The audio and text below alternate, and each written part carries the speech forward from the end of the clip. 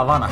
Dacă ai câteva mii de euro și n-ai ce să faci cu ei, cumpără-ți o pisică Savannah. Pisica Savannah este un hibrid între o pisică africană sălbatică și o pisică domestică. Vă dați seama cât de șmecher ar fi să vă plimbați cu o pisică de asta pe stradă, în lesă, dar și să dai aproape 50.000 de euro, mai bine nu. Oricum, la prețul ăsta, e genul ăla de pisică pe care o dețin și aici din Dubai aia britanică cu păr scurt. Asta e pisica mea preferată, nu pare de aia păroasă și nici de aia fără păr, nu e nici urâtă, nici cu forme ciudate. Pe asta aș recomanda-o căci că trăiește și până la 20 de ani.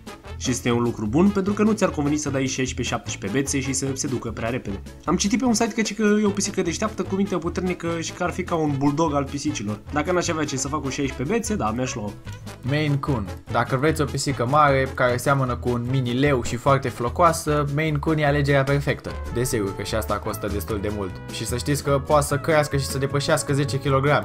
Belea, nu? Să ai o pisică de mărimea unui câine. Dacă o înveți și să se bată, e în stare să o milească orice câine. Dar trebuie să aveți grijă pentru că la cât de stufoasă e blana aia, așa o să fie și casa voastră, plină de păr. O pisică de asta mi-aș dori și eu.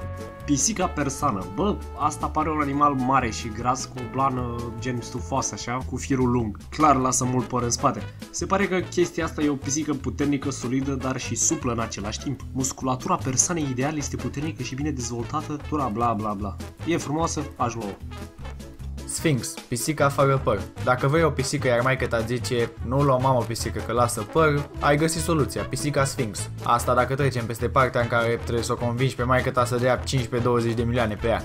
Poate că nu arată ea extraordinar de bine, ba chiar e puțin scârboasă pentru unii, totuși e un animăluș și tot o să-l iubiți. Partea nașpa e că trebuie să aveți foarte mare grijă cu ea pentru că e foarte sensibilă și nu cred că vrei să o tragă curentul și să moară după ce ați dat 20 de bețe pe ea. A, și încă ceva, dacă vreți să o personalizați, puteți să o tatuați, chiar dacă personal nu sunt de acord să maltrateze animalul în halul ăsta. Siameza! Aceste pisici erau considerate paznici la temple, erau mândria Siamului, adică Thailanda de astăzi, și oricine ar fi îndrăznit să fure sau să facă contrabandă cu acestea, era pedepsit cu moartea. Dacă pisicile astea erau mândria ferentariului, nici nu se mai știa de existența lor, ci că asta era pisica de la curtea regală. Pare mișto, eu l-am avut pe motanul Oscar, nu mai trebuie. Scottish Fold. Pisica asta arată haios rău de tot, pentru că are urechile lăsate. Dar să știți că nu se naște așa cu ele, de-abia după 3 săptămâni se lasă. Pisica e din Scoția, după cum probabil v-ați dat seama deja din nume. Și rasa e destul de sensibilă, trebuie să aveți grijă mereu să o curățați în urechi. Și e și destul de scumpă. Totuși, dacă vrei o pisică cu un aspect puțin diferit, e perfectă. Pisica himalaiană Știți că am vorbit despre persană și siameză? Ei bine, dacă un motan persan se întâlnește cu o pis-pis, te-am văzut aseară în vis siameză, sau mă rog, poate erau doi motani, pisicile sunt cu lăgăbâtă cu de-astea, a? a? Nu? Bine. Din astea două ieșea pisica himalaiană, care ce că e cam leneșe și nu prea e de cu energie, deci dacă preferați un leneș în casă, luați-o pe asta.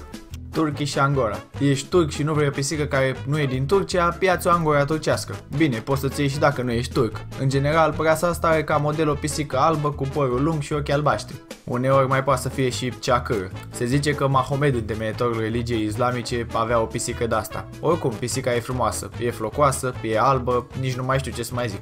Pisica Napoleon, care n-are nicio treabă deloc cu gagiul ăsta pe care îl chema Napoleon, sau cu cremșnitul ăla de-l găsiți la magazin cu 2 lei. Pisica Napoleon a rezultat din plăcerea unor oameni care au vrut să creeze o rasă nouă. E făcută din persană și uh, munci, munchin. Sper că am pronunțat corect. Bă, e frum, alege-o dacă vrei, cam lasă păr. Ce ți cu pisicile astea se combină între ele ca culorile.